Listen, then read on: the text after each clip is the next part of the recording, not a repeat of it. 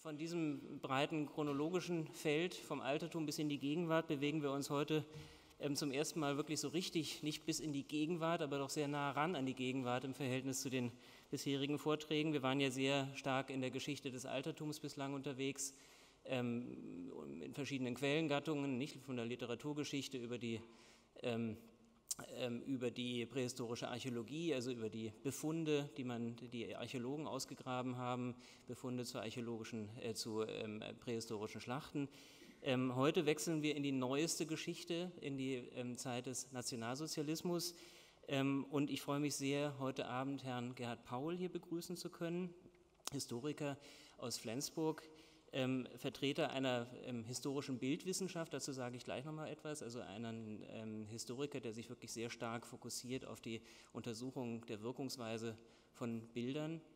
Dieser Wechsel in die, in, die, in die nähere Vergangenheit ist auch damit verbunden, dass wir heute mit Quellen zu tun haben werden, die in einer ganz anderen Weise als die Quellen, die Sie bisher gesehen haben in den Vorträgen bisher, ähm, dieses Thema Gewalt an Sie heute auch heranbringen werden. Ich sage das wirklich jetzt schon mal so ähm, vorweg, weil die Bilder, die Sie sehen werden gleich, außerordentlich ähm, brutal zum Teil sind, ähm, außerordentlich entwürdigend auch zum Teil sind, was die Opfer angeht, die dort dargestellt sind. Es ist, um es so zu formulieren, natürlich auch eine eine Möglichkeit der, der, Medien des 20. Jahrhunderts, die wir in den Medien des, der, der Antike in dieser Form gar nicht hatten. Ähm, wenn Sie ein Vasenbild dieser, der, der, ähm, der griechischen oder römischen Zeit ähm, sich anschauen, ist da immer eine große Distanz zwischen Ihnen und dem Dargestellten, auch wenn es noch so brutal ist. Bei den Fotografien, die Sie heute sehen werden, ist das nicht der Fall. Ich warne Sie insofern etwas vor. Ich glaube, hatte das auch mit Herrn Paul so kurz besprochen, ähm, dass er das ähm, ähnlich auch sagen würde. Gerhard Paul ist, wie gesagt, Historiker, ähm, studierte Sozialwissenschaften und Geschichte an den Universitäten Bonn, Frankfurt und Hannover ähm, und promovierte in Kassel äh, zum ähm, Dr. Rea Poll, das heißt also in den Politikwissenschaften, und war Dozent dann eben entsprechend auch hier an der FU in Berlin bis 1994 am Otto-Suhr-Institut, also dem berühmten Institut der Politikwissenschaften hier an der Freien Universität und habilitierte sich hier 1990 auch ähm, an diesem Institut. Er ähm, ist dann seit 1994 bis zu seiner Emeritierung 2016 an der Universität Flensburg tätig gewesen als Professor für Geschichte und ihre Didaktik und arbeitete immer wieder ähm, an Projekten und an Publikationen zum Thema Nationalsozialismus, ähm, unter anderem in einem Projekt ähm, Die Gestapo und die Deutsche Gesellschaft, das auch hier an der Freien Universität äh, Berlin mitlief. Eine große Anzahl von Veröffentlichungen gibt es zum Nationalsozialismus, insbesondere eben immer wieder zum Alltag der Gewalt auch in der Diktatur, unter anderem zur Rolle der Gestapo, zur Frage, wer waren eigentlich die Täter, die Gewalttäter dieser Zeit. Ähm, und war auch ähm, beschäftigt mit einem Forschungsprojekt zum Beispiel zur Sozialgeschichte des Terrors, also immer wieder dieses Thema eben Gewalt in, in der Zeit ähm, des, der, ähm, der, der NS-Diktatur. Ähm, mehrfach Publikationen, gibt es auch Publikationen zum Thema Krieg, die uns also jetzt auch ganz dicht wieder an unsere Vortragsreihe heranführen, unter anderem Bilder des Krieges, Krieg der Bilder, die Visualisierung des modernen Krieges von 2004, der Bilderkrieg, Inszenierungen, Bilder und Perspektiven der Operation Irakische Freiheit, also wieder ganz stark jetzt auch in die Gegenwart hinein von 2005. Ähm, und ein Aufsatz, beispielhaft jetzt nur die Geschichte hinter dem Foto, Authentizität, Ikonisierung und Überschreibung eines Bildes aus dem Vietnamkrieg ähm, in den zeithistorischen Forschungen von 2005. Immer wieder geht es also, ähm, Gerhard Paul, um Bilder, um die Wirkungsmacht von Bildern. Es ist die Forschungsrichtung der sogenannten Visual History.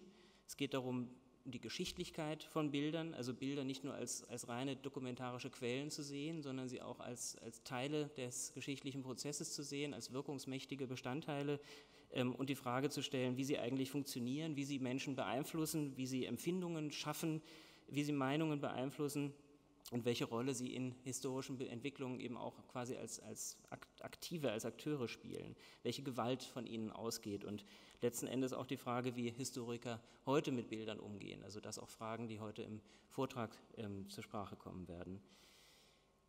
Ähm, Zu diesem Thema vielleicht das nochmal so als, ähm, als Möglichkeit, das, das zu vertiefen, wenn Sie da Interesse haben, ähm, hat Gerd Paul auch ein Studienbuch mit heraus oder herausgegeben zur Visual History und es gibt vermute ich auch als eine Art Zusammenfassung dieses Studienbuches äh, diesen Beitrag bei Dokopedia, nicht? also auch online frei verfügbar. Da können Sie also ganz rasch auch dieses Thema, dieses große Themengebiet ähm, sich zu Gemüte fühlen in, in, einem Beitrag, den Gerd Paul dort veröffentlicht hat. Das finden Sie, wenn Sie über Google gehen, ganz schnell auch Visual History und seinen Namen dazu einzugeben.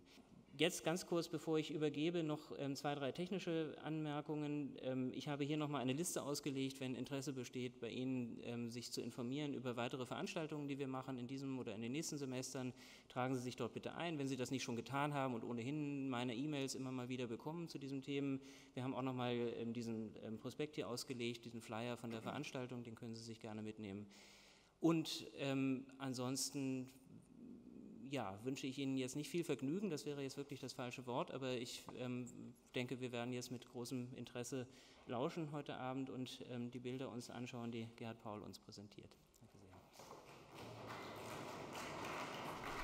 Ja, besten Dank für die ausführliche Einführung. Äh, eine Korrektur.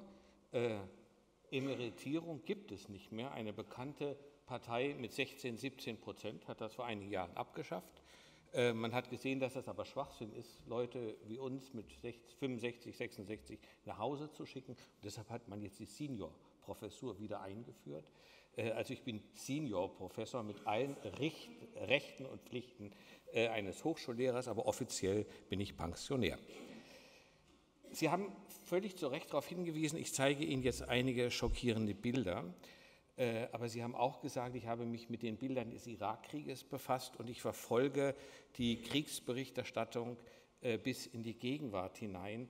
Und dagegen sind diese Bilder, die schockierend für sich genug sind, die wir jetzt sehen, fast noch gemütliche Bilder. Was in den Kriegen der Gegenwart, im Irakkrieg und im syrischen Krieg fotografiert wird an Gewalt, auch an pornografischer Gewalt, das haben selbst die Nazis nicht zustande gebracht. Und die neue Qualität ist, dass jeder von Ihnen sich diese Bilder auf seinem Tablet, auf seinem Notebook zu Hause auch anschauen kann. Sie haben zu Recht äh, darauf hingewiesen, äh, und ich werde es auch noch mal tun, es sind auch hier einige sehr schockierende Bilder dabei. Äh, ich habe diese Fotografien jetzt nicht gepixelt, weil wir ein kleiner Zuschauerkreis sind. Bei größeren Publikationen äh, werden wir aber, beziehungsweise haben wir auch diese Bilder in der Vergangenheit ähm, gepixelt. Es sind Bilder, die der Historiker, auf die er plötzlich trifft, genauso wie Sie jetzt gleich auf diese Bilder treffen werden, wenn man in Akten kramt. Äh, ich habe sehr viel in äh, der zentralen Stelle der Landesjustizverwaltung in Ludwigsburg gearbeitet, also die Behörde, die die gesamten Ermittlungsakten gegen NS-Täter zusammenführt. Und da stoßen Sie plötzlich, wenn Sie eine Akte durchsuchen, äh, durchlesen, auf Umschläge, wo Sie Bilder wie diese, zum Teil noch schlimmere Bilder sehen können. Äh, dasselbe passiert aber auch in Archiven wie, oder in Agenturarchiven wie dem Bildarchiv Preußischer Kulturbesitz, aus dem die meisten Bilder sind, die ich Ihnen jetzt zeigen werde. Und ich möchte Ihnen demonstrieren, wie wir als Zeithistoriker heute mit diesen Bildern umgehen, wobei ich sagen muss, die Bilder der sexualisierten Gewalt sind immer noch ein großes Tabu. Ähm, da, wagen sich, da wagt sich keiner so recht heran.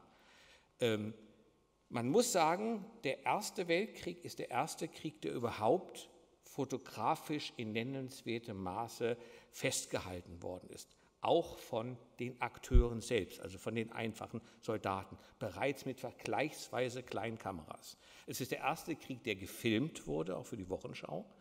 Es gibt nur wenige Kampfhandlungen, dazu war die Apparatur noch viel zu schwerfällig. Der Zweite Weltkrieg hat das insofern verändert, als die Soldaten selbst mit kleinen Super-8-Kameras ausgestattet beziehungsweise mit Fotoapparaten ausgestattet ins Feld gezogen sind. Daneben gibt es die professionelle Kriegsberichterstattung der Propagandakompanien der deutschen Wehrmacht, sodass äh, der Zweite Weltkrieg eigentlich der erste große Krieg ist, der aus unterschiedlichster Perspektive mit den unterschiedlichsten Medien fotografisch, filmisch festgehalten worden ist. Ähm, er so, es hat so viele Bilder gegeben, ich zeige Ihnen jetzt nur Bilder von einem Pogrom. Im Grunde ist jedes Pogrom, insbesondere in der Kriegsanfangsphase, im Krieg gegen die Sowjetunion, fotografisch und filmisch festgehalten worden. Es gibt Filme von äh, den Erschießungen in Libau ähm, an der Ostseeküste äh, von Amateurfotografen, die äh, ein, ein, kein Pogrom, sondern Massenerschießung praktisch aus der zweiten Reihe zwischen den Soldaten heraus äh, fotografieren. Die Probleme, die ich jetzt schildern werde, die gibt es bei diesen ähm, äh, äh Filmen ganz ähnlich. Und ich werde Ihnen, auch das ist vielleicht provozierend, Bilder aus einem Krieg zeigen, ähm, zu dem ich sagen möchte, ich habe, der ich Politikwissenschaft und Geschichte studiert habe, ich habe ein, lange Zeit einen Tunnelblick auf die Geschichte gehabt, wie viele meiner Generation. Ich bin wirklich davon ausgegangen, äh, die deutsche Wehrmacht hat Polen und anschließend die Sowjetunion überfallen und dieser Überfall ist dort ähm, natürlich auf äh, heroischen Widerstand äh, gestoßen, dass es Kollaboration gegeben hat, Kollaboration bis in diesen Bereich der sexualisierten Gewalt. Das ist mir damals, das habe ich mir nicht vorstellen können. Das heißt, die Bilder, die Sie jetzt sehen, das sind im Grunde Gemengelagen, wo deutsche Soldaten daneben gestanden haben und gefilmt haben, fotografiert haben, wie ukrainische Nationalisten ihre jüdischen Nachbarn aus den Häusern gezerrt haben, durch die Straßen gejagt und erschlagen haben. Vielleicht auch deshalb ist es ein großes Thema oder ein großes Tabuthema, äh, weil die Täter lassen sich dabei nicht mehr ganz so einfach bestimmen, wie das im Schulgeschichtsbuch noch der 80er und 90er Jahre äh, der Fall war. Ich möchte mit diesem Foto beginnen. Und was Sie hier rechts sehen, das ist das, was äh, die Bildagentur Preußischer Kulturbesitz zu diesem Bild anmerkt. Das finden Sie, äh, wenn Sie den Papierabzug sehen, beziehungsweise nein, auf, auf dem Papierabzug finden Sie noch mehr. Auf dem Papierabzug finden Sie auf der Rückseite immer auch Stempel von Zeitungen oder Zeitschriften, wo ein solches Bild veröffentlicht wurde. Ähm, das ist der digitale, wenn Sie wollen, äh, das digitale Bild, das im Netz steht, das Sie als äh, Nutzer jederzeit, wenn Sie sich beim Bildarchiv preußischer Kulturbesitz einloggen, das Bild wird Ihnen angeboten äh, zur Veröffentlichung. Das sind die Informationen, die Sie haben. Ich will Ihnen gleich sagen, was da alles dran falsch ist. Praktisch jedes Bild bei einer Bildagentur ist verkürzt, äh, äh, hat andere Kontexte, was dazu führt, dass diese Bilder, wir sprechen heute von äh, Migrationen, dass die Bilder frei flottieren ähm, äh, um den Erdball im Internet und äh, ihren Kontext verlieren, in ganz andere Kontexte eingebettet werden. Das hängt also auch mit diesen äh, unzureichenden Bildlegenden zusammen. Also das sehen Sie. Sie sehen nicht beim digitalen Angebot praktisch die Rückseite des analogen Abzuges mit den Hinweisen, wo veröffentlicht, wer eventuell ähm, veröffentlicht hat, etc. Diese Schwarz-Weiß-Fotografie zeigt in Naheinstellung ein Mädchen im Jugendalter, es sitzt im Rinnstein einer Straße, die Kleider sind ungeordnet. Die Augen fixieren den Fotografen. Mit ausgestrecktem rechten Arm und geöffneter Hand, die etwas oberhalb des Bildmittelpunktes situiert ist, fleht es den Fotografen hinter der Apparatur geradezu an.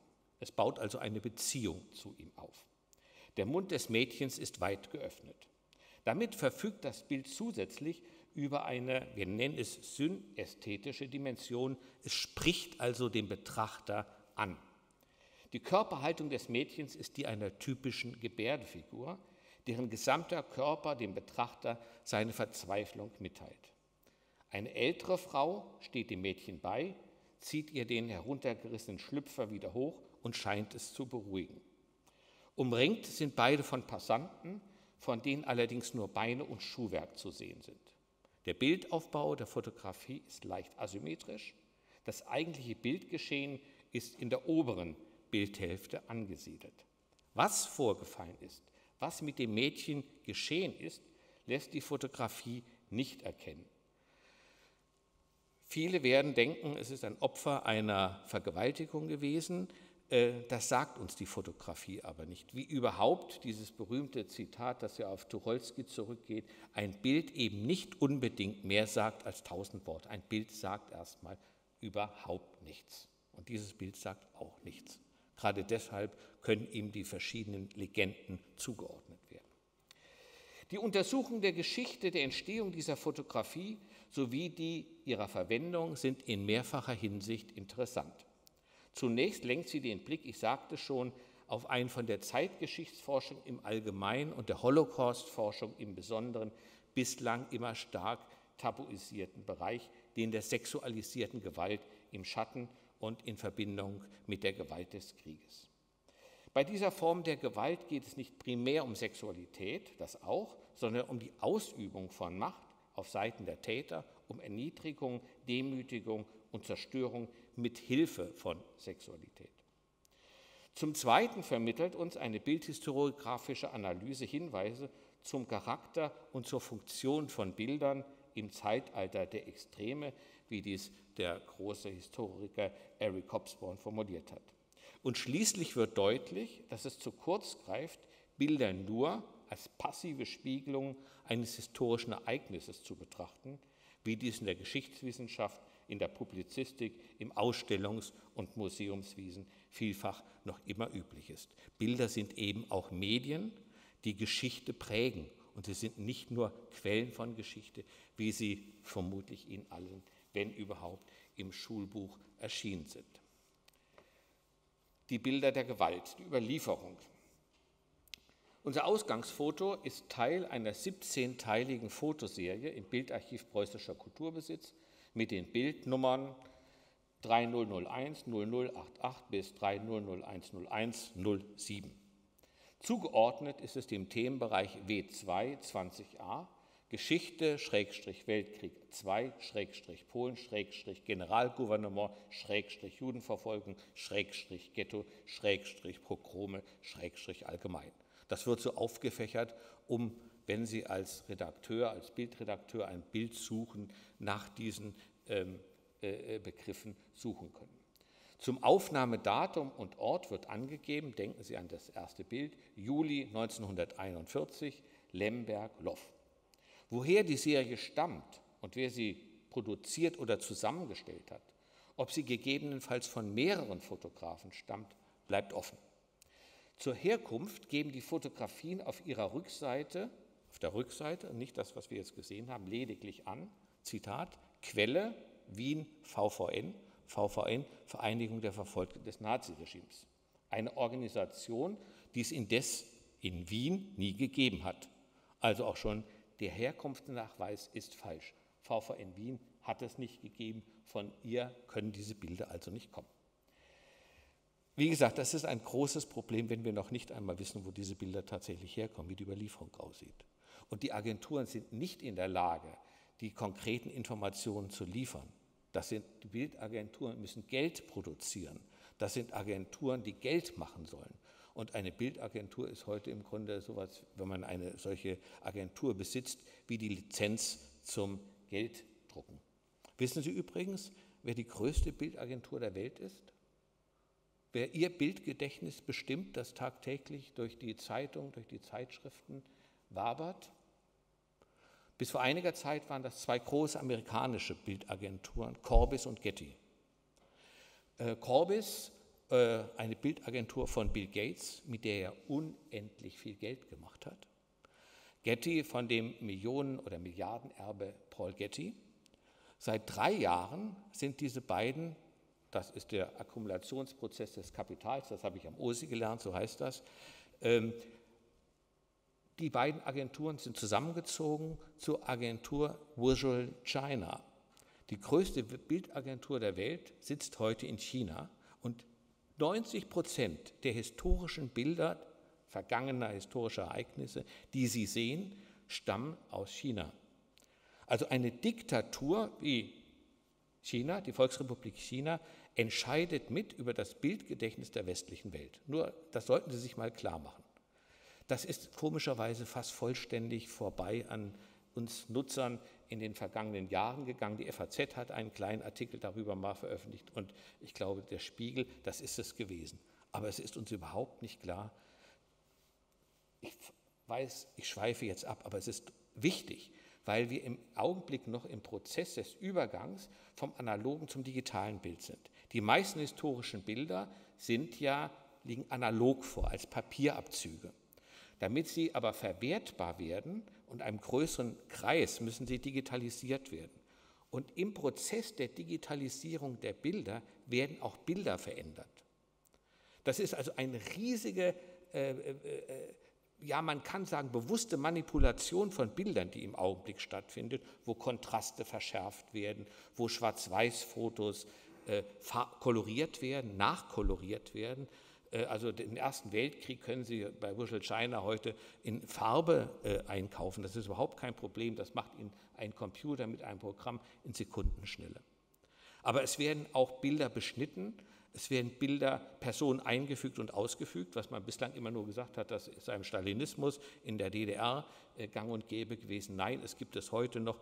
Und wir verfügen letztendlich gar nicht über das Wissen, über die Fähigkeiten, im Grunde diese Veränderung noch nachzuvollziehen. Bei digitalen Veränderungen am Bild, da sehen Sie nicht mehr die Schnitte.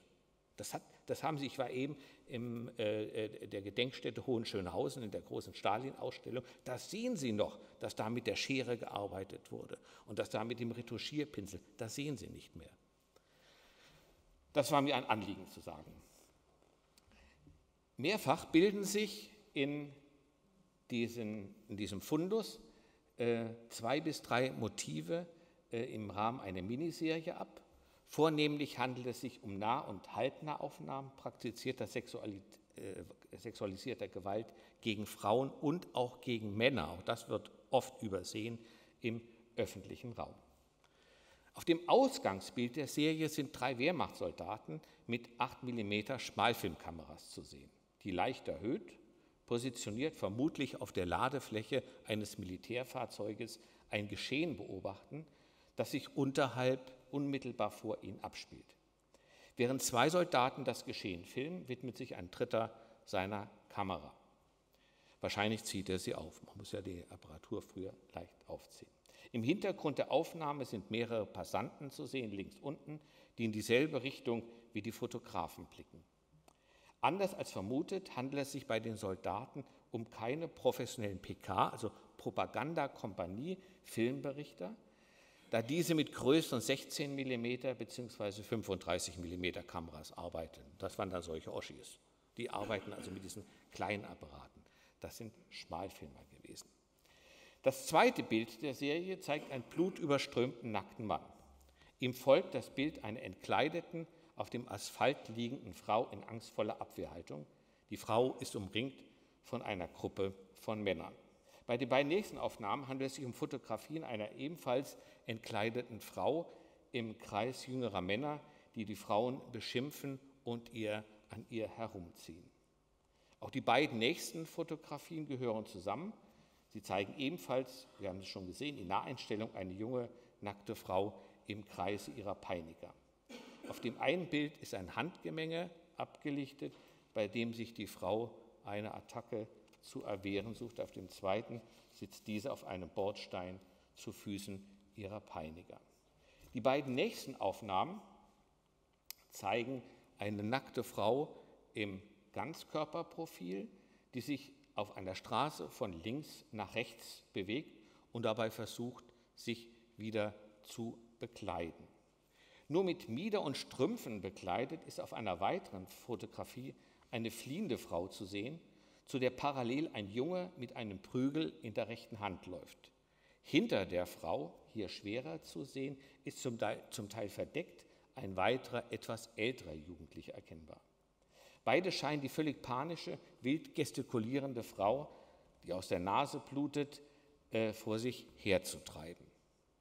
Ein weiteres Foto zeigt in Nahaufnahme eine auf dem Boden liegende Frau inmitten einer Menschenmenge, die direkt in das Objektiv des Fotografen blickt. Von den sie umringten Menschen sind nur Beine, Arme und Hände zu sehen. Es folgt eine Aufnahme von zwei jungen Männern, die eine halbbekleidete Frau dem Fotografen präsentieren und dieser vermutlich im nächsten Augenblick den Pullover vom Körper reißen werden. Auf einem weiteren Bild ist nur schemenhaft im Kreis von Männern, deren Gesichter abgeschnitten sind, ein zusammengeschlagener Mensch auf dem Boden zu sehen. Ob es sich um einen Mann oder eine Frau handelt, ist nicht erkennbar. Eine jüngere Frau in einem mit Blut bespritzten weißen Kleid scheint der Person helfen zu wollen. Den Abschluss der Serie bildet die Aufnahme eines Sammelplatzes, auf dem Personen in Wehrmachtsuniformen sowie männliche und weibliche Zivilpersonen zu erkennen sind. Das ist die Serie. Hier nochmal zusammengefügt, wie sie bei äh, dem Bildarchiv preußischer Kulturbesitz zu sehen ist. Die Bildnummern sind allerdings umgekehrt zu sehen. Das, was Sie jetzt hier sehen, ist die Reihenfolge äh, beim Bildarchiv preußischer Kulturbesitz. Man muss die Reihenfolge umdrehen, dann ergibt sich ein Narrativ.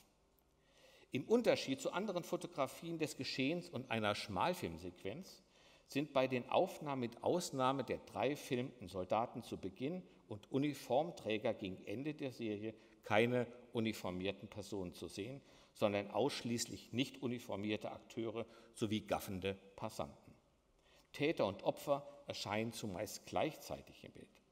Auf einem Bild ist dem Fotografen vermutlich unbeabsichtigt eine Frau ins Bild geraten, die ersetzt erscheint angesichts der vor, sich, äh, vor äh, ihr sich abspielenden Szenen.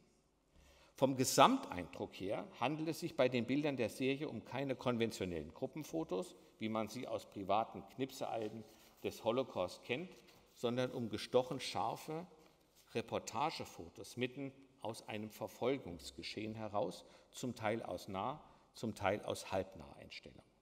Auch das verstärkt den Charakter eines, den Eindruck eines professionellen Charakters.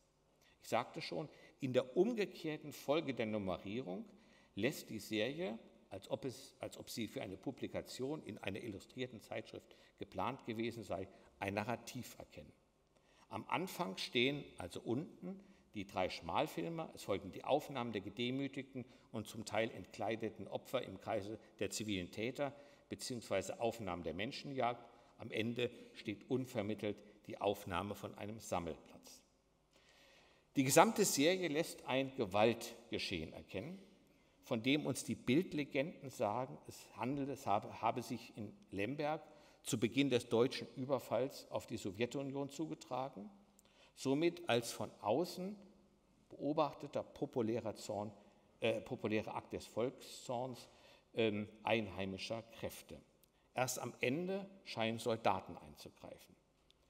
Die dem Pogrom folgenden Erschießung von Juden durch Angehörige der Einsatzkommandos 5, 6 und der Einsatzgruppe C äh, sollten entsprechende Anweisungen von dem Chef des Reichssicherheitshauptamtes Reinhard Heydrich Übergriffe auf Juden als Selbstreinigungsbestrebung antikommunistischer und antijüdischer Kreise in den zu besetzenden Gebieten erscheinen lassen. Das muss man wissen.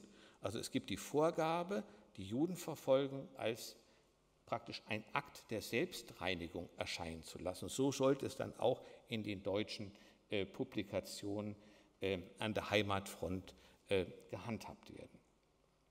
Auffällig an den Aufnahmen ist ihr sexualisierter Charakter, was diese von den meisten Aufnahmen von Krieg und Holocaust unterscheidet.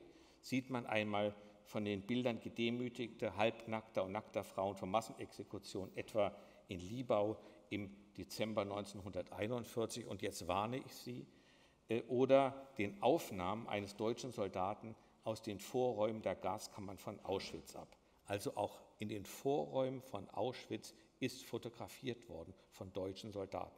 Die haben zum Teil richtig viel Geld an ihre Kameraden gezahlt, äh, um dort fotografieren zu können. Vor allem die Aufnahmen der sexualisierten Gewalt der Serie des Bildarchivs preußischer Kulturbesitz sind es, die Sharon Müller vom US Holocaust Memorial Museum veranlasst haben, diese als basically pornographic zu bezeichnen. Sie sind, wie andere gesagt haben, die schlimmsten Bilder des äh, Holocaust. Nein, es gibt noch deutlich schlimmere. Es ist, wie gesagt, ich will nicht Ihre Fantasie beanspruchen, aber es ist bis in den Eingang der Gaskammern fotografiert worden. Und dafür ist gezahlt worden, obwohl es offiziell untersagt war. Es gab so viele deutsche Soldaten mit Schmalfilmkameras, mit kleinen äh, äh, äh, Fotoapparaten, das ließ sich letztendlich gar nicht mehr kontrollieren. Und das ist heute genauso. Also letztendlich nicht sehr viel anders. Zur Besonderheit der Serie aus dem Bildarchiv preußischer Kulturbesitz gehört es, dass sie über denselben historischen Referenzpunkt verfügt wie ein 1945 von US-Einheiten in der Nähe von Dachau aufgefundener 8 mm Film, der ebenfalls dem Lemberger Pogrom zugeordnet wird und den ich Ihnen ganz kurz zeigen werde. Also es ist auch Schmalfilmer haben dort äh, gedreht. Also gucken wir mal.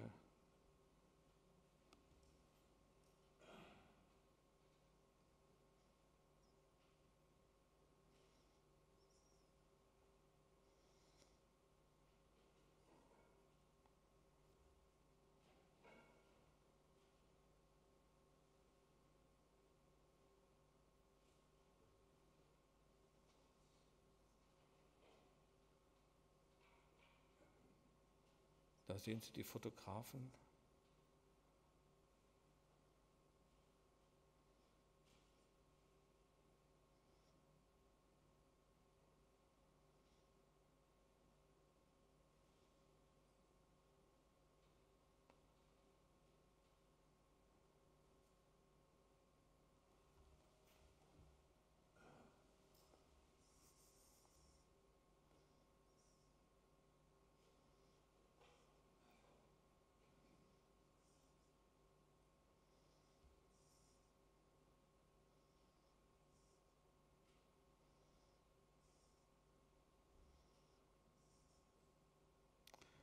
Ich erspare Ihnen den Rest dieses Filmes. Ähm, alleine bei der Wehrmachtsausstellung des Hamburger Instituts für Sozialforschung äh, 1995 in Kiel sind 80 dieser Schmalfilmsequenzen den Ausstellungsmachern zur Verfügung gestellt worden. Nur in Kiel. 80. Also das ist ein Massenphänomen gewesen, nicht nur zu fotografieren, sondern bereits auch mit Schmalfilmkameras äh, zu arbeiten. Auch dies ist offiziell untersagt gewesen, hat aber im Alltag des Krieges äh, äh, gab es letztendlich keine Chance, dieses Verbot durchzusetzen. Auf, ähm, dass es sich bei einem der drei filmten Wehrmachtssoldaten, erinnern Sie sich vielleicht des Ausgangsbildes der BBK-Serie, ähm, um den Produzenten dieses Filmstreifenhandels, kann nach der Analyse des Films als gesichert angenommen werden. Also die drei, die da auf dem Lastwagen stehen, der eine wechselt äh, gerade seinen Film, es müssen also einer von den beiden anderen sein. Der tonlose 8 mm Film ist das 90 Sekunden lange, zum Teil beschädigte Fragment eines vermutlich längeren Streifens. Zur Überlieferungsgeschichte, er ist der Sowjetarmee, der Soldat in die Hände gefallen und damit also auch dieser Filmstreifen und ist über Moskau äh, dann zurück nach Deutschland gekommen. Er, der Film, diese Sequenz, die Sie gesehen haben, verfügt über insgesamt 78 kurze Einstellungen, die in einer Entfernung von etwa sechs Metern zu dem Geschehen aufgenommen worden sind. Wie auf dem Foto ist der Kamerastandpunkt auch hier leicht erhöht und widmet sich der Kameramann Menschen, die aus einem Toreingang kommen bzw. gezerrt werden. Das können wir genau lokalisieren, äh, wo dies äh, auch war. Also Sie können davon ausgehen, dass es einer dieser beiden Kamera, äh, eine der beiden Soldaten gewesen, die am Ende dieser Serie auf dem äh, auf einem Wagen stehen. Zu Beginn zeigt das Filmfragment mehrere Männer, die verletzt auf einem von Flugzetteln übersäten Platz liegen. Ein älterer Mann mit Bart stützt sich, während er in die Kamera schaut, mit seinem linken Unterarm auf dem Asphalt ab. Ob es sich bei ihm, wie zum Teil behauptet, um den später erschossenen Rebbe Benzion Halberstrim handelt, muss offen bleiben. Eine Ähnlichkeit ist indes erkennbar. In zumeist halbnaher Einstellung zeigt der Film dann, wie mehrere nackte und halb entkleidete Männer und Frauen aus einem Gebäudeeingang auf eine Straße getrieben werden, darunter ein nackter, blutüberströmter Mann mittleren Alters sowie ein zweiter, jüngerer, ebenfalls total entkleideter Mann, auf den im nächsten Augenblick eine Person mit einem Knüppel einprügelt. Weitere Szenen zeigen, wie auf dem Platz vor einer Toreinfahrt ein Zivilist mit einer Stange von hinten zweimal auf eine entkleidete Frau einschlägt, wie ein Mann an den Arm und eine Frau an den Haaren über das Straßenpflaster geschleift werden und Wehrmachtssoldaten inmitten des Geschehens mit ihren Fotoapparaten auf Motivsuche sind. Abschließend bewegt sich die Kamera in einem, das habe ich jetzt nicht gezeigt, in einem 360-Grad-Schwenk über die Straße vor dem Gebäude, wo mehrere leblose Körper liegen und Passanten, darunter etliche Frauen, das Geschehen zum Teil belustigt verfolgen. Filme dieser Art gibt es, wie gesagt, in Kiel sind allein 89 äh, den Ausstellungsmachern übergeben worden. Es sind Tausende von Filmen, die in dieser Weise von diesem Pogrom gemacht worden sind. Es ist das bis dato am stärksten auch filmisch festgehaltene Pogrom der Geschichte. Mindestens zwei Personen der Fotoserie finden sich auch in dem 8 mm Film wieder. Das ist dieser nackte, blutüberströmte Mann mittleren Alters sowie jene ebenfalls fast völlig entkleidete, nur noch mit dunklen Strümpfen bekleidete, vermutlich von einer Gruppe von Männern umringte, etwas korpulentere Frau, auf die jemand mit einer Stange einschlägt. Die unbekleidete Frau entfernt sich von dem Geschehen. Hinter ihr ist ein Wehrmachtssoldat zu erkennen. Film- und Fotosequenz bezeugen sich damit gegenseitig und verweisen auf denselben Ort und denselben Zeitpunkt des abgelichteten Geschehens. Tatort, Täter und Taten. Ein Vergleich der Fotografien und Standbilder von Straßenzügen und einzelnen Häuserfronten mit Aufnahmen aus dem heutigen Lviv, Lemberg, identifiziert der Stadt in der, in der Westukraine zweifelsfrei als Platz des Geschehens. Eine Stadt mit einer äußerst bewegten, wechselvollen Geschichte und ein ethnisch-politischer Krisenherd erster Ordnung, in der Polen, Juden, Ukrainer neben und oft genug auch gegeneinander lebten. Bis 1918 war Lemberg eine der größten Garnisonen der österreichisch-ungarischen Monarchie gewesen und dann an Polen gefallen. Infolge der sowjetischen Besetzung Ostpolens 1939 wurde die Stadt dann in die ukrainische Sowjetrepublik eingegliedert. Mit dem Überfall der Wehrmacht auf die Sowjetunion geriet Lemberg dann bis 1944 als Teil des Generalgouvernements in deutscher Hand. Muss man berücksichtigen, dieses ständige Hin und Her. Die Holocaust-Forschung ist sich darin einig, dass die Juden Galiciens unmittelbar nach dem deutschen Einmarsch im Juni 1941 von einer Pogromwelle erfasst wurden, wie es sie seit den Tagen des russischen Bürgerkriegs nicht mehr gegeben hatte. Darf man nicht vergessen. Auch da gab es Pogrome brutaler Art, die indes vom Ausmaß nicht mit dem zu vergleichen sind, was sich dann 1941 ereignete. Eine der größten Pogrome fand, wie gesagt, in Lemberg statt. Diesem ging die Liquidierung von Hunderten, das ist wichtig, von ukrainischen und polnischen Gefangenen in den örtlichen Gefängnissen durch die sowjetische Geheimpolizei NKWD voraus. Dem Pogrom folgte dann die systematische Ermordung der polnischen Intelligenz sowie der jüdischen Bevölkerung, die der Kollaboration mit der Sowjetmacht bezichtigt wurde durch deutsche Einsatzkommandos. Also ein sehr verworrenes Geschehen, das es ja auch, vielleicht erinnern sich einige Ältere von Ihnen, das hat auch dazu geführt, dass unter den Bildern der Wehrmachtsausstellung, der ersten Wehrmachtsausstellung, Bilder waren, die falsch zugeordnet waren, weil man nicht genau diese unterschiedlichen Phasen der, ähm, äh, des, des äh, Pogromgeschehens ähm, hat auseinanderhalten können. Nach derzeitigem Forschungsstand gliederte sich das Geschehen in drei Phasen, denen unterschiedliche Täter und Opfergruppen entsprachen. In das Massaker des sowjetischen NKWD vom 25. 26. Juni 1941, in das antijüdische Pogrom ukrainischer Nationalisten vom 30. Juni und dem 1. Juli 1941, das sind die Bilder, die wir eben gesehen haben, und dann in das systematische Morden durch die deutschen Einsatzkommandos ab dem 2. Juli 1941. Das wird heute im populären Bewusstsein alles zusammengemengt. Äh, und entweder wird das alles den ukrainischen Nationalisten oder es wird allen äh, der, der Sowjetmacht oder es wird alles den äh, deutschen Einsatzgruppen und der Wehrmacht zugeschoben. Aber man muss diese drei Phasen unterscheiden, auch zeitlich unterscheiden. Bei dem, was wir gesehen haben, stehen die deutschen Wehrmachtssoldaten und SS-Leute praktisch daneben und haben die Rolle eines aktiven Zuschauers. Das sind, ist das Werk ukrainischer Nationalisten, was wir hier gesehen haben. Was die Fotoserie nicht abbildet, das deutet nur das letzte in der Reihung vom Bildarchiv preußischer Kulturbesitz, das erste Bild an, ist dann die Erschießung durch die Einsatzkommandos der deutschen, ähm, äh, nicht der deutschen Wehrmacht, durch die Einsatzkommandos der äh, Sicherheitspolizei und äh, der SS. Die Ereignisse, die Sie also in dieser Bildserie des Bildarchivs Preußischer Kulturbesitz abbilden, betreffen die zweite Phase des Gewaltexzesses, das antijüdische Pogrom.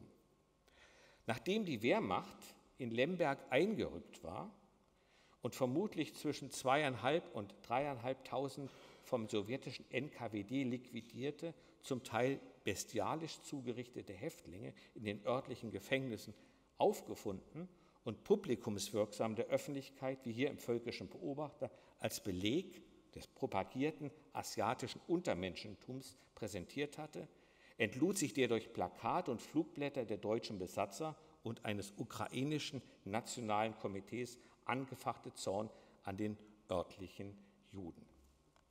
Unter dem Zwang und öffentlicher, unter Zwang und öffentlicher Beobachtung hatten diese zunächst die Toten in den Gefängnissen zu bergen und zu bestatten. Vor den drei NKWD-Gefängnissen kam es dabei zu größeren Menschenansammlungen und nachfolgend auch zu Gewaltexzessen mit Todesfolge. Nach gegenwärtigem Kenntnisstand wurden zwischen 7.000 und 8.000 Juden in den Gefängnissen und auf den Straßen vor den Gefängnissen ermordet von ihren eigenen Nachbarn, von ukrainischen Nationalisten. Die Deutschen stehen nur daneben. Teilweise sehen sie aber auch, wie die Soldaten mit ihren Kameras durch die Reihen der Opfer und der Täter gehen und äh, fotografische Aufnahmen machen. Orte des Pogroms waren vornehmlich die von Juden bewohnten Wohnbezirke, die Zitadelle, die Plätze vor dem Rathaus und vor der Oper sowie die Straßen unmittelbar vor den Haftstätten. Vor allem bei den NKWD-Gefängnissen handelte und handelte es sich um heute bis heute emotional hoch aufgeladene Erinnerungsorte. Eines der Gefängnisse wurde bis 1944 von der Gestapo genutzt, bis 1953 dann wieder vom sowjetischen NKWD. Heute beherbergt es eine Gedenkstätte für die Opfer politischer Repression mit den Namen der vom NKWD Ermordeten. Ob auf dem Abschlussfoto der BBK-Serie tatsächlich der Sammelplatz der festgenommenen Juden auf einem Sportplatz in der Nähe des jüdischen Friedhofs abgebildet ist, lässt sich nicht zweifelsfrei belegen, darf aber aus dem Kontext heraus angenommen werden. Durch einen Abgleich mit aktuellen und historischen Häuserfotografien lassen sich einige Aufnahmen der BBK-Serie und des 8mm-Films konkret äh, äh, und präzise lokalisieren. Im Bildhintergrund der drei Schmalfilmamateure handelt es sich um dieses Wohnhaus direkt gegenüber der Toreinfahrt des NKWD-Gefängnisses. Da müssen Sie heute gar nicht mehr nach Lemberg fahren. Das können Sie zu Hause am Computer äh, mit Google Earth bzw. Äh, mit Straßenaufnahmen eindeutig identifizieren. Die drei Schmalfilm Amateure fokussieren mit ihren Kameras somit unmittelbar auf ein Geschehen, das sich in bzw. vor der Einfahrt des vom NKWD fluchtartig verlassenen Gefängnisses am 1. Juli 1941 abspielte, nachdem die Rote Armee und der NKWD die Stadt verlassen hatte. Bildkomposition, Schärfe und Einstellung sowie das in sich geschlossene Narrativ der Bildanordnung der BPK-Serie, ebenso wie ein Vergleich mit Aufnahmen eines sogenannten Knipse-Albums aus der Gedenkstätte Yad Vashem in Jerusalem zum selben Geschehen deuten auf einen professionellen Fotografen, vermutlich einer Propagandaeinheit, einer PK-Einheit hin. Allerdings ist dieser Mann bis heute unbekannt geblieben. Mindestens vier Gruppen von PK-Angehörigen, die die Leichenfunde und das nachfolgende Pogrom filmten, hielten sich in Lemberg auf. Bildberichter der unter anderem bei der ersten Gebirgsjägerdivision eingesetzten PK 680, der in Potsdam aufgestellten zur Heeresgruppe Süd zählenden Panzer PK 691 und der 1939 in Münster aufgestellten, zunächst am Westwall eingesetzten PK 666. Bei der vierten Gruppe handelt es sich um PK-Filmkameramänner, entweder der Wehrmacht oder der SS. Wir wissen heute, dass der Überfall auf die Sowjetunion auch ein gigantischer Medienevent war, der alleine von 58 Filmkamerateams, stellen Sie sich das vor, 58 Filmkamerateams der deutschen Wochenschau, und Filmkamerateams heißt nicht eine Person, sondern es war eine ganze Gruppe, ähm, sowie von Hunderten von Fotografen begleitet und festgehalten wurde. Kein Krieg bis dato ist derart medial festgehalten worden wie dieser Zweite Weltkrieg. Also allein 58 Filmkamerateams haben diesen Überfall begleitet. Darüber hinaus banden Dutzende von Knipsern und Schmalfilmern aus den Reihen von Wehrmacht, Polizei und SS die öffentliche Leichenschau der vom NKWD ermordeten und die anschließenden Demütigungen und Menschenjagden des Judenpogroms von Lemberg auf Zelluloid. Am 2. Juli besichtigten so etwa die Kommandeure der 1. Gebirgsdivision unter Führung von General Lanz die ausgelegten Leichen. Dem Kriegstagebuch der 4. Abteilung des Gebirgsartillerieregiments 79 äh, sind Aufnahmen von der Besichtigung beigefügt. Das finden Sie dann, wenn Sie sich äh, so eine Akte wälzen, dann plötzlich im Umschlag liegen diese Bilder bei. Andere Soldaten suchten gleich mehrere Gefängnisse auf, so auch ein namentlich nicht bekannter Soldat, der seine Aufnahmen in ein Fotoalbum einklebte und auf der Rückseite mit kurzen schriftlichen Erläuterungen versah. Seine Bilder zeigen Lemberger Bürger beim Identifizieren der Leichen, festgenommene Juden beim Bergen der Toten und exhuminierte Opfer außerhalb der Stadt. Dass sich einige seiner Fotos identisch auch in anderen Bildserien finden, kann begründet vermutet werden, dass die Soldaten ihre Aufnahmen mehrfach reproduzierten, aushängten und untereinander austauschten. Das ist also ein, ein richtiger Handel mit Bildern gewesen. In den der zur Schaustellung und der Bergung der NKWD-Leichen nachfolgenden Menschenjagden verwandelten sich Fotoapparat und Schmalfilmkamera von dokumentarischen bzw. propagandistischen Medien zu unmittelbaren Waffen. Die Soldaten befanden sich in einem regelrechten Bilderrausch. Sie haben es auch so beschrieben. Rosa Wagner, eine der wenigen das Massaker überlebenden jüdischen Frauen aus Lemberg, berichtete 1945 über ihre Erfahrungen. Sie war von Jugendlichen gegen Mittag des 30. Juni aus ihrer Wohnung auf die Straße zu anderen Frauen gezerrt worden. Noch Jahre später, erinnert sie sich, hatten Überlebende das Klicken der Kameras in den Ohren. Also das Klicken der Kameras wirklich als traumatische, als dramatische Erfahrung. Nachdem sie die NKWD-Opfer identifiziert hatten, gingen Soldaten, ob PK-Profis oder einfache Lanzer, auf Jagd nach den schaurigsten Motiven. Vor allem der leidende und malträtierte Körper und die sexualisierte Gewalt lockten geradezu magisch an. Das war damals nicht anders als in allen Kriegen der Gegenwart. Mach, machen Sie sich da nichts vor. Juden machen Vorplatz sauber, Lemberg, 1. Juli 1941, lautete die rückseitige Bildlegende auf einem 6 mal 6 cm großen Foto eines unbekannten Soldaten, das dieser in einem Album mit anderen Fotografien zu einer Bildstrecke kompilierte. Vermutlich ist kein Pogrom bis dato so umfassend und aus unterschiedlichen Perspektiven festgehalten worden wie das Lemberger Judenpogrom nach dem deutschen Einmarsch Ende Juni 1941. Wobei ich bin mir da heute noch nicht mal mehr sicher, ob das tatsächlich so zu halten ist, ob es nicht beim Einmarsch in Baltikum schon etwas früher ähm, ähnliche ähm, Geschehen gab. Als Täter rücken die Aufnahmen neben Angehörigen der ukrainischen mit hellen Armbinden identifizierbaren Milizen, Bildmitte, vor allem Männer mittleren und jüngeren Alters, Arbeiter, oft mit Mütze bekleidet, selten ältere Männer mit Krawatte und Trenchcoat ins Bild, die sich zum Teil mit Latten und Eisenstangen bewaffnet haben. Wie im polnischen Jedwabne und im litauischen Kaunas kamen die Täter auch hier immer aus der Nachbarschaft. Antisemitismus und Antikommunismus waren in Lemberg indes auch in den besitzenden und gebildeten Schichten der Stadt vorhanden, weshalb die Aufnahmen daher vermutlich auch, auf, auch Mitglieder dieser Schichten abbilden. Auffällig an, Bilder, an einigen Bildern ist, dass auf ihnen zudem Kinder und Jugendliche mit Latten zu erkennen sind, die sich an der Jagd auf jüdische Frauen beteiligen. Da das Pogrom als öffentlicher Kollektivakt inszeniert war, finden sich zahlreiche Zuschauer auf den Aufnahmen, die das Geschehen vom Straßenrand aus beobachten, darunter einige zum Teil besser gekleidete Frauen in hellen Sommerkleidern, auf den Filmen auch Frauen in, in bäuerlicher Kleidung. Auf mehreren Fotografien und in einer Filmsequenz geraten, Sie haben es gesehen, einige uniformierte Wehrmachtsangehörige mit Foto- und Filmkamera ins Bild, die das Pogrom mitten aus dem Geschehen heraus aufnehmen. Lediglich auf einer Aufnahme ist eine Frau zu sehen, der der Schrecken über das Geschehen förmlich ins Gesicht geschrieben steht und die sich durch Gestik und Mimik vom Geschehen zu distanzieren scheint.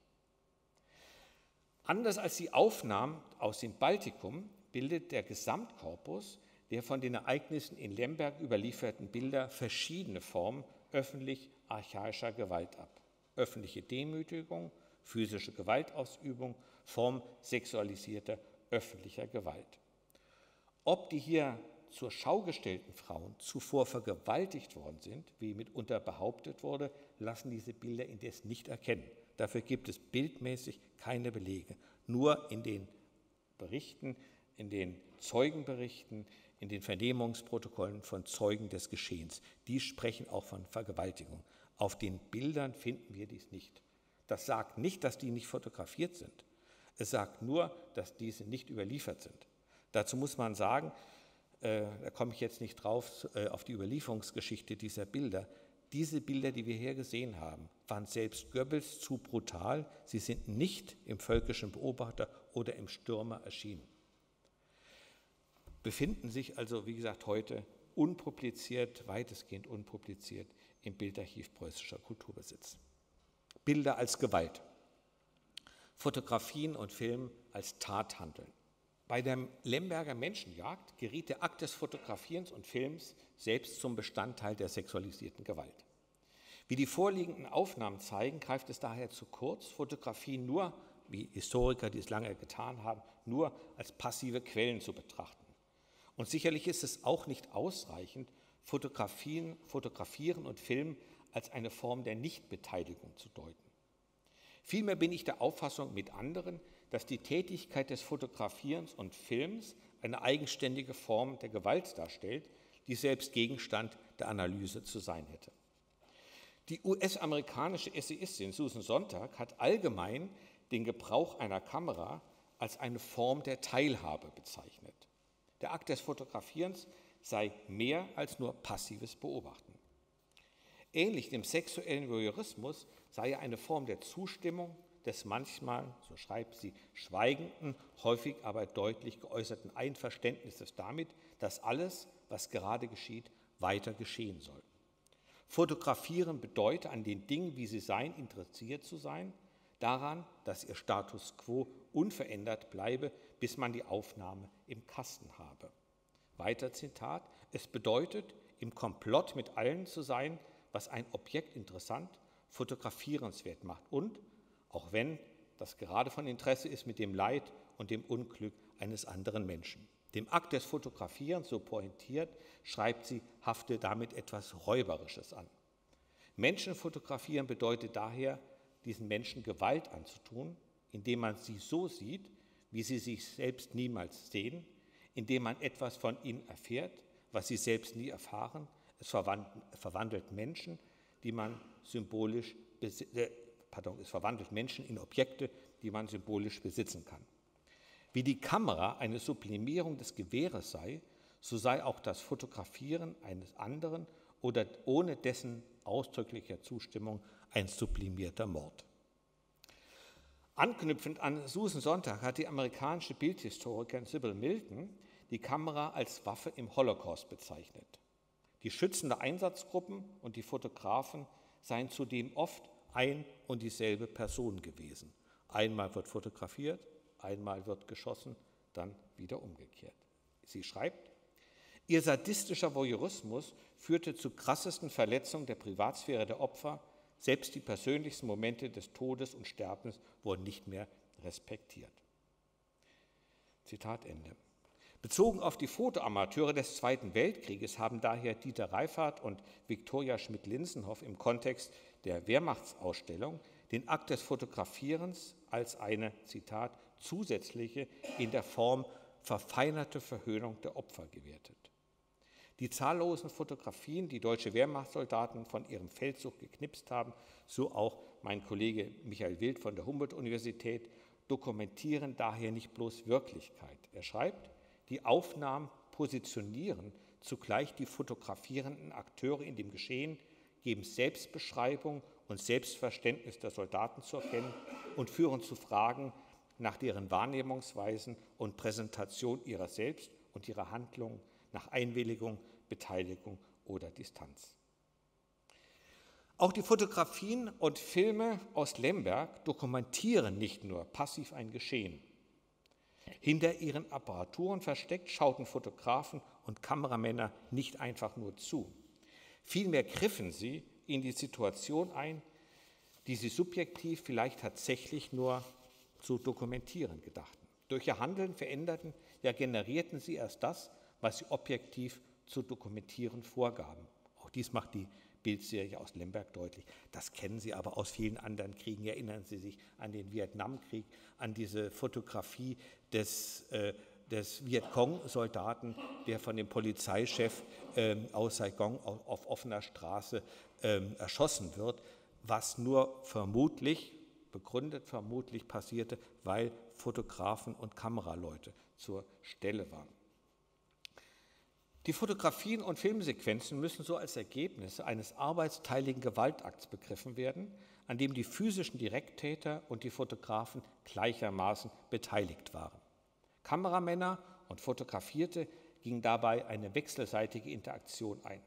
Dies gilt für die Akteure ebenso wie, für die Opfer. So fleht das Mädchen unseres Ausgangsbildes den Fotografen geradezu an. Es baut also eine direkte Beziehung zu ihm auf. Die Abgelichteten fliehen zudem, so immer auch vor der Kamera, konnten sich deren Blicken aber nicht entziehen. Ihre Flucht blieb letztlich erfolglos, da der Schuss der Kamera immer schnell, schneller war als die Fliehenden selbst.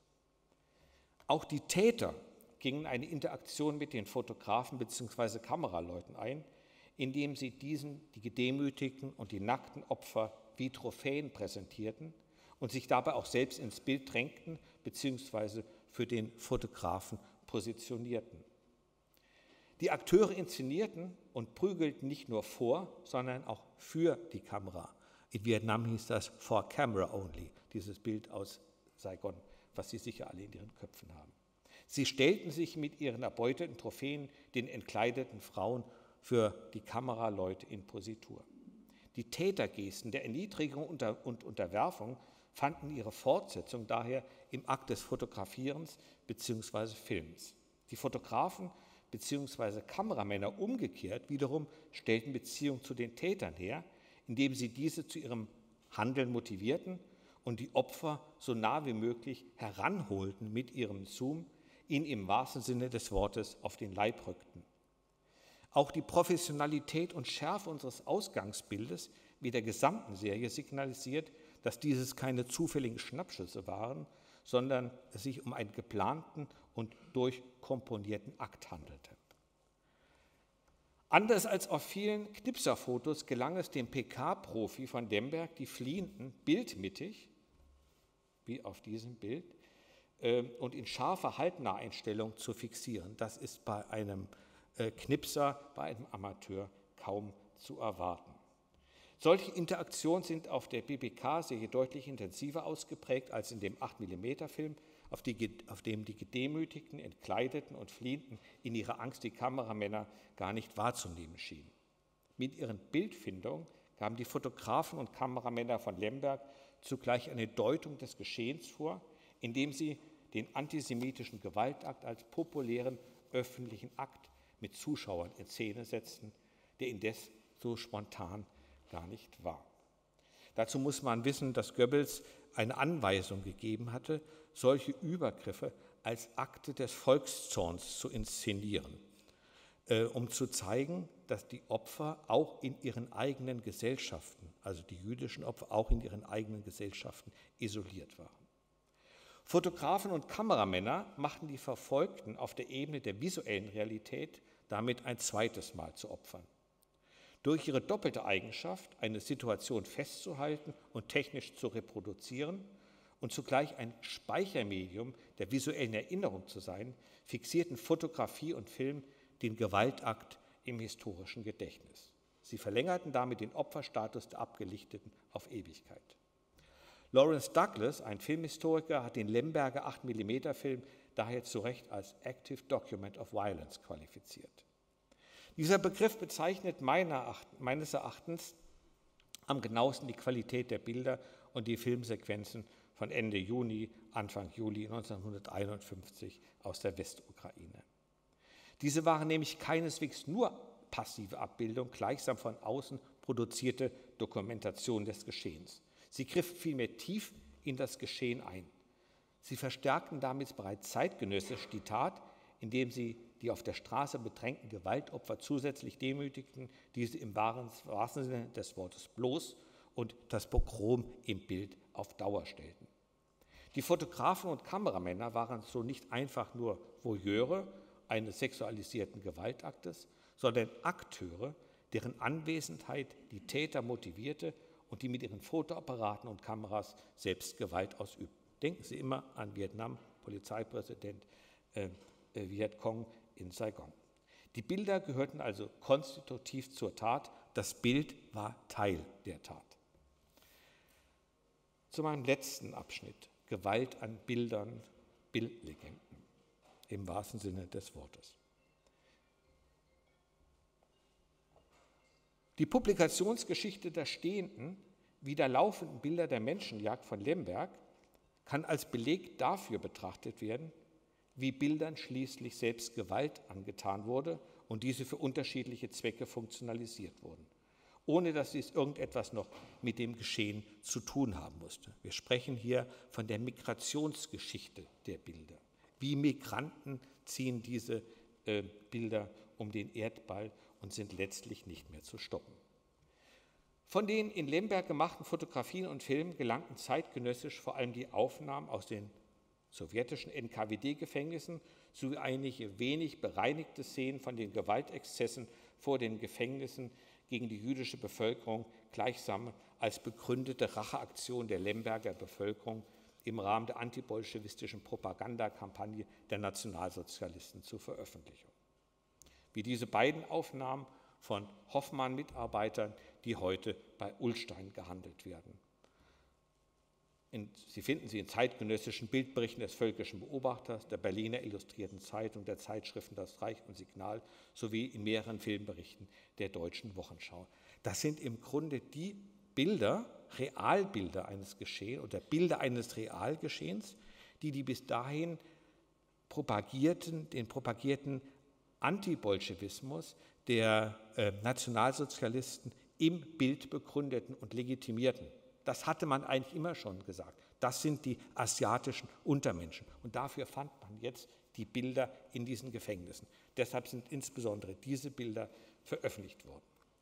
Dass die Bilder der sexualisierten Menschenjagden in den Straßen Lembergs zeitgenössisch unveröffentlicht blieben, mag daran gelegen haben, dass sie selbst Goebbels für offenkundig zu sexuell gewalttätig hielt und der Ansicht war, diese gefährdeten der Volksgemeinschaft. Also die Bilder sind nicht publiziert worden.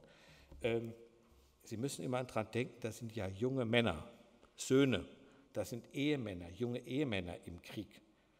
Die Frauen befürchteten natürlich genau, dass solches geschehe. Und wenn das jetzt im Bild festgehalten an der Heimatfront publiziert wurde, da nahm man an, das würde größere Auswirkungen auf den Zusammenhalt der Volksgemeinschaft haben. Nach 1945 fungierten die Fotografien der Serie und der 8 mm Filmstreifen von den Vorgängen vor dem NKWD-Gefängnis als Beweismittel in den Nürnberger Kriegsverbrecherprozessen. Aber achten Sie darauf, was daraus wurde.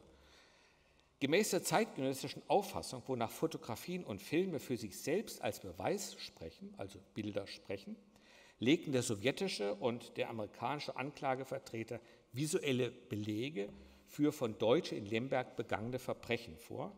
So am 13. Dezember 1945 das Beweisstück US 280, bei dem es sich um den vermeintlich von einem SS-Mann stammenden äh, originaldeutschen 8 mm Film über die Gräuel gegen Juden handelte. So wurde er dort angekündigt.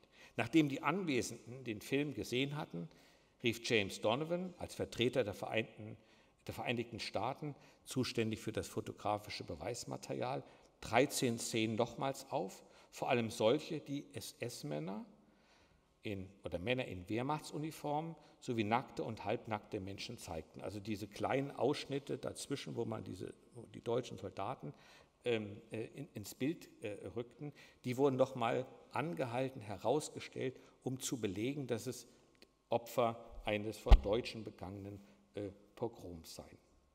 Zwar hätte man, so der US-Anklagervertreter William B. Walsh, nicht zweifelsfrei klären können, wo der Film entstanden sei, Zitat, wir glauben dennoch, dass dies unwesentlich ist. Der von den Deutschen selbst aufgenommene Film bildete einen unabläugbaren Beweis für die fast unglaubliche Brutalität gegen Juden, die sich im Gewahrsam der Nazis einschließlich militärischer äh, Verbände befanden. Die Anklagevertretung glaubt, dass diese Szene die Vernichtung eines Ghettos durch Gestapo-Beamte unter Mithilfe von militärischen Einheiten darstellt. Zitat Ende. Wie das weitere Beweismaterial der Anklage zeigen werde, habe sich die in dem Filmstreifen dargestellte Szene, Zitat, wahrscheinlich tausendmal überall in Europa während der Nazi-Schreckensherrschaft wiederholt. Zitat Ende. Also den Charakter, dass es die, die Mittelphase dieses Pogroms war, der den ukrainischen Nationalisten anzulasten ist, das rückt überhaupt nicht in den Blickfeld. Erinnern Sie sich, Sie sind ja alle etwas, mit ganz wenigen Ausnahmen, etwas älter und haben wahrscheinlich die Wehrmachtsausstellung gesehen, äh, Mitte der 90er Jahre, die dann zurückgenommen werden musste, weil einige Bilder falsch zugeordnet sind. Das hängt genau damit zusammen, dass man diese verschiedenen Phasen nicht auseinandergehalten hat. Dass also Bilder, wo man annahm, das seien Bilder Opfer deutscher Verbände, tatsächlich Opfer sowjetischer äh, äh, äh, Einheiten, Polizeieinheiten äh, beziehungsweise des Geheimdienstes NKWD waren. Das Gespür dieser Interaktion, das besaß man damals nicht. Diese Political Correctness, die unsere Hirne teilweise blind machte, äh, die hat dazu geführt, dass von diesen Tausenden von Bildern sieben nachweislich falsch zugeordnet und kontextualisiert waren. Wenn man allerdings ich übertreibe jetzt mal, wenn man diese Standards, die man damals an die Wehrmachtsausstellung gestellt hat, die, die, die Kollegen, die diese Ausstellung erstellt haben, haben nicht willentlich und bewusst getäuscht. Sie haben eine falsche Vorstellung dieser Interaktion in ihren Köpfen gehabt. Das war ihnen nicht klar. Wenn man aber diese strengen Maßstäbe an diese Ausstellung stellt, die ja dann zurückgezogen wurde und ein zweites Mal völlig neu konzipiert wurde, dann müsste man heute jedes Schulbuch in Deutschland einstampfen. Weil ich kann Ihnen in jedem Schulbuch 10, 15, 20 Bilder zeigen, die falsch kontextualisiert werden, weil man zum Teil unkritisch die Bildlegenden der älteren Schulbücher oder die Bildlegenden, Bildlegenden der Agenturen praktisch unkritisch übernimmt. Also wenn Lehrer unter Ihnen sind, seien Sie da absolut kritisch gegenüber, was Bildagenturen betrifft, was Abbildung in Schulbüchern betrifft. Da will keiner bewusst täuschen. Das ist teilweise Unkenntnis, teilweise ist es Schlamperei.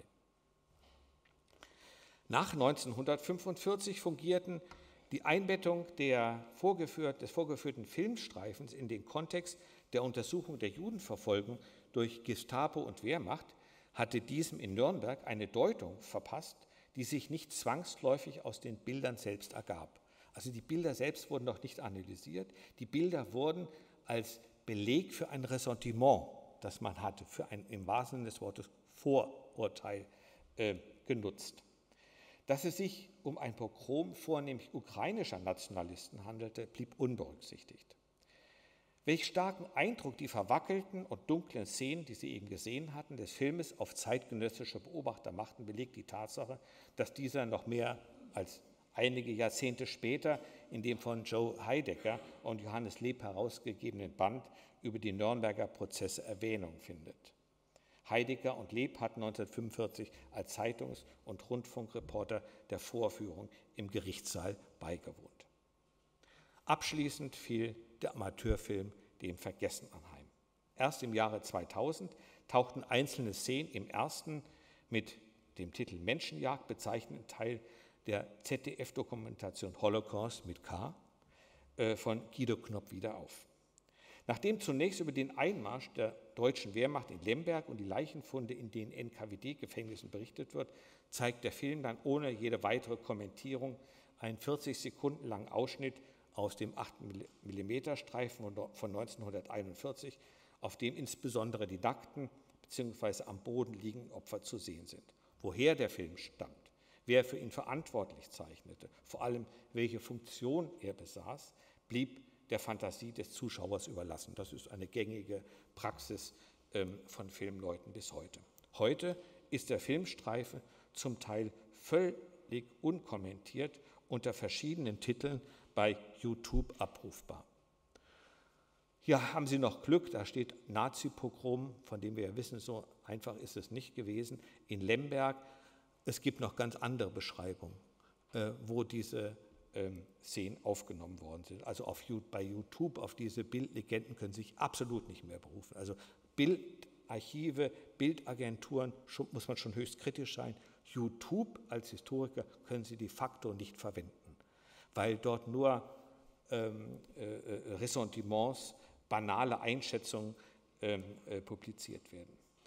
Vermutlich war es genau diese Filmsequenz, die Jonathan Littell in seinem unstrittenen Roman Die Wohlgesinnten von 2006 literarisch wieder zum Sprechen brachte, als in aller Genauigkeit das Lemberger Pogrom aus der Sicht seines Protagonisten Max Aue, einem promovierten Juristen, der aus ideologischer Überzeugung der SS beigetreten, dort Obersturmbahnführer und Mitglied einer Einsatzgruppe in der Ukraine geworden war, beschreiben ließ. In einer Kirche wurde dieser Augenzeuge eines Vorfalls in dem Roman als eine, ich zitiere, etwas fette Frau, fast nackt, mit zerrissenen Strümpfen, schreiend hinter der Kirche hervorgestürmt kam, gefolgt von zwei kräftigen Kerlen mit Armbinden, die auf die auf den Boden stürzende äh, Frau einschlugen. Sie kennen diese Aufnahme. Das heißt, auch der Roman von 2006 verarbeitet äh, diese Bilder und fügt sie wiederum in ein eigenes Narrativ ein. Nicht jedoch die bereits in Nürnberg vorgeführte Bildsequenz, sondern einzelne Aufnahmen der BBK-Serie avancierten zu historischen Schlüsselbildern des Geschehens mit geradezu ikonischem Status. Die Aufnahme des Mädchens im Rinnstein sowie das Bild der von den beiden jungen vor sich hergetriebenen halbnackten Frau. Zunächst druckte 1960 Gerhard Schönberger in seiner legendären Bilddokumentation Der gelbe Stern zur Judenverfolgung in Europa zwei Aufnahmen aus der Serie ab. Das Bild des Mädchens im Rinnstein das Hilfesuchen seine Hand in Richtung des Fotografen streckt, sowie das Bild der jungen, nackten Frau mit ihren Händen die beiden Brüste verbergend. Schönbergers Umgang mit den Fotografien entsprach der sorglosen Publikationspraxis der Zeit. Beide Fotos wurden stark beschnitten, wodurch die Täter und Gaffer unsichtbar blieben und nur das Opfer sichtbar war. So haben wir den Holocaust auch damals analysiert. Wir haben die Gaffer im Grunde ausgeblendet, die Zuschauer, die zur Tat aber dazugehörten. Das ist erst durch äh, Raul Hilberg ähm, dann in den 60er und insbesondere in den 70er Jahren äh, deutlich geworden. Das erste Bild ordnete er richtig den Geschehen in Lemberg zu. Das zweite Bild, hier unten rechts, schreibt er fälschlicherweise einem Pogrom in Libau im Baltikum zu. Das war damals noch relativ schwer, ähm, den genauen äh, die genaue Herkunft zu ermitteln. Das Bei allem Negativen, was das Internet hat, dass diese Bilder äh, äh, flottieren um den, Welt, äh, um, den, um den Erdball, das Gute ist auch, dass sie heute diese Bilder natürlich sehr viel genauer lokalisieren und kontextualisieren können. Das war einem Historiker äh, wie Gerhard Schönberger äh, Ende der 50er, Anfang der 60er Jahre noch gar nicht möglich.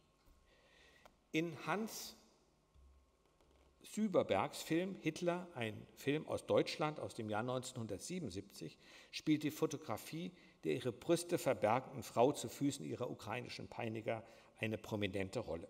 Süberberg führt die Aufnahme zunächst in einer kurzen Einstellung des ersten Teils ein, in dem die junge Frau als Verkörperung des weiblichen Opfers des Nationalsozialismus schlechthin vorgestellt wird. Also jeder macht aus diesen Bildern sein eigenes Ding. In zwei längeren Sequenzen des dritten Teils, Titel Das Ende eines Wintermärchens, greift er das Bild wieder auf. Er verwendet es nun im Großformat und lässt Reichsführer SS Himmler aus der Mitte der Peiniger heraustreten. Vor dem projizierten Bild der nackten Frau rezitiert dieser die berühmten Sätze seiner Posener Rede von 1943, in der er darüber resoniert, was es heißt, Juden umzubringen und dennoch anständig geblieben zu sein, beziehungsweise lauscht dem Text eines Berichtes der Einsatzgruppe A über Judenerschießung. Auch hier vertritt die Frau aus Lemberg das Opfer schlechthin, das den Betrachter während der eingespielten Rede bzw. des Textes starr fixiert, diesen zur Empathie auffordert und damit das gesprochene Wort auf der visuellen Ebene konterkariert. Der genaue Kontext des Bildes war auch Süberberg noch nicht bekannt. Nur so konnte er die Fotografie in der dargestellten Weise verwenden.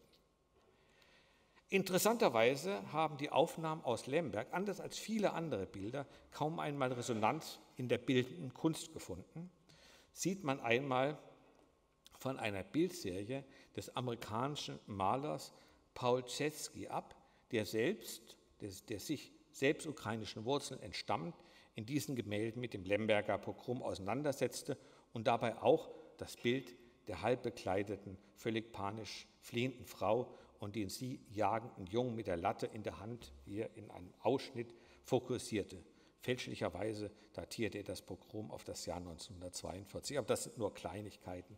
Äh, wenn Sie die Bilddokumentation von Guido Knopp durchgehen, da stimmt praktisch keine Jahreszahl. Da ist nur geschludert worden. Äh, unglaublich, dass das mit unseren Steuergeldern passiert ist. Bedingt durch die Kraft der Bildkomposition fokussierte die weitere Publikationspraxis auf das Bild des Mädchens im Rindstein. Aufgrund seiner kompositorischen Kraft, das Bild nimmt ja, das Mädchen nimmt ja Kontakt mit dem Betrachter auf, erwies sich dieses Bild stärker als ein konkreter historischer Entstehungskontext. Es entfaltete seine Wirkung durch unterschiedliche mediale Bildträger hindurch und animierte damit die Fantasie der Betrachter. Wie andere Ikonen entledigte es sich dabei sukzessive seines Kontexts, wodurch es frei für unterschiedliche Verwendungen wurde. In einem Bericht des Spiegels etwa über Adenauers vertriebenen Minister Theodor Oberländer, 1941 politischer Berater des in Lemberg eingesetzten Bataillons Nachtigall, etwa diente es als reiner Eyecatcher ohne weitere Erläuterung. Die Bildlegende lautete knapp und kurz: Pogrom in Lemberg, mitmachen beim Massaker. Wie sehr es modernen Bildmedien oft gar nicht um historische Aufklärung, sondern um visuelle Überrumpelung zum Zwecke der Auflagen bzw. Quotensteigerung geht und Bildlegenden dabei mitunter, nicht immer, mitunter frei erfunden werden, demonstrierte das Publikationsverhalten des amerikanischen Time Verlages. 1989 nutzte dieser das Foto des flehenden Mädchens in dem Time Life Buch History of the Second World War, Seite 141, als Intro zu dem Kapitel Gewalt und Terror im Zweiten Weltkrieg. Die Bildunterschrift lautete, können Sie jetzt nicht lesen, A rap victim in the city of love cries out in rage and anguish as an older woman comforts her.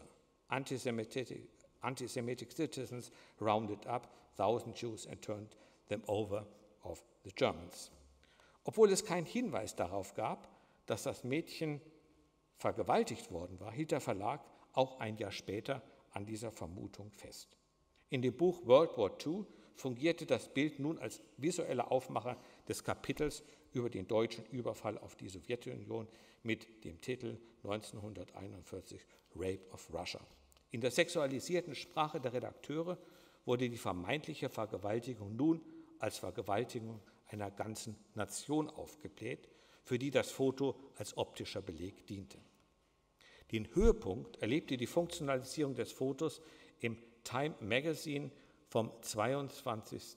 Februar 1993, wo es als Illustration zu einem Artikel über Massenvergewaltigung im Bosnienkrieg publiziert wurde. So weit geht das. Also trauen Sie auch den Bildlegenden in den Zeitschriften nicht. Die Bildlegende lautete nun, alle historischen Fakten negieren Traditions of Atrocity, a Jewish Girl Raped by Ukrainians in Love, Poland, 1945.